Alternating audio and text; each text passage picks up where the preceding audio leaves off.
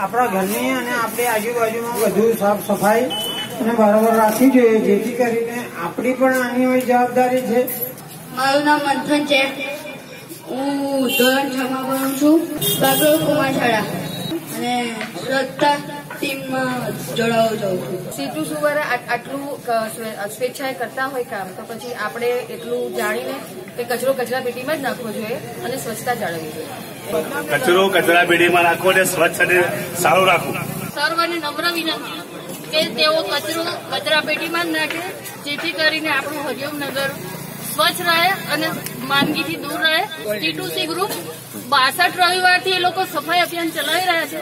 તો એમને આપણે સાથ સહકાર આપીએ. એટલે કોઈ બહાર કચરો નાખવાની જરૂર નથી. પંચાયત વાળા આવે છે, ડસ્ટબિન મૂકો બધે અને જાતે કચરો નાખો. પચાસ દસ રૂપિયાના ડબ્બામાં કોઈનું કશું ઘસાઈ નહીં જાય. એવું હશે તો અમારા ગ્રુપ વાળા દરેક જગ્યા પર એક એક ડબ્બો મૂકી દેશે. એમાં બધા કચરો નાખજો. કોઈ બહાર કચરો નાખવાની જરૂર નથી. બરાબર છે? આટલી મારા બધા ભાઈઓ બહેનોને છે, હરિઓમનગરના. હરિઓમનગર જેવું પહેલેથી ચોખ્ખું છે, ચોખ્ખું હશે અને ચોખ્ખું જ રહેશે. સતત સતત છાસઠમાં રવિવાર સુધી સી ટુ સી પરિવાર, કોઈ પણ સ્વાર્થ વગર જે અનોખી કામગીરી, જાગૃતતા અભિયાન, સ્વચ્છતા જાગૃતતા અભિયાન પર કામ કરી રહ્યો છે. સી ટુ સી પરિવાર જેવી કામગીરી કરે છે, એવી એને પ્રેરણા લઈ દરેક યુવક મંડળ આને પ્રોગ્રામ આવો કરતા રહે. ટીટુસી પરિવાર આપણા છાસઠ વીકથી એ લોકો સફાઈનું કામ કરે છે. આપણા લોકલાડીના વડાપ્રધાન નરેન્દ્ર મોદી જે આપણા આખા હિન્દુસ્તાનમાં એવું કહેલું કે સ્વચ્છ અભિયાન કરવું અને સ્વચ્છ રાખવું. સ્વચ્છ રાખવાથી આપણું આરોગ્ય સારું રહે છે. સીટુસીના સપોર્ટને લીધે અમારા પણ કર્મચારીઓ કે સભ્યોએ દરેકે કામ કર્યું. સફાઈ અભિયાન કર્યું અને ઉત્સાહથી કર્યું.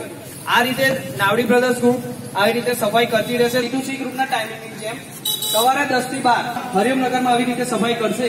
અને દરેક ઘરવાળાને વિનંતી છે કે આ રીતે સફાઈ તમે પણ રાખજો. તો હરિયમનગરનું નામ પણ સારું રહેશે અને હરિઓમનગર રોગ રોગ ફ્રી રહેશે. એટલે આ રીતે અમે કામ કરતા રહીશું. થેન્ક યુ અને અમે એવું જ કરીએ છીએ કે સીટુસીમાં બધા લોકો જોડાય. કે બધા લોકો જોડાશે તો એને તો એવું થશે ને, એ તો સુધરશે ને. જેટલા અમારી જોડે આવશે એટલા. સીટુસી નો એક જ ધ્યેય છે કે સ્વચ્છતાના લગતા બધા ગ્રુપ ગમે તે ગ્રુપ બનાવી શકે છે. અને અમારો હેતુ એ જ છે કે સ્વચ્છતા અને અભિયાન ચાલુ રાખે અને ચોખ્ખું થાય ત્યાં સુધી દરેક માણસે મહેનત કરવી જરૂરી છે.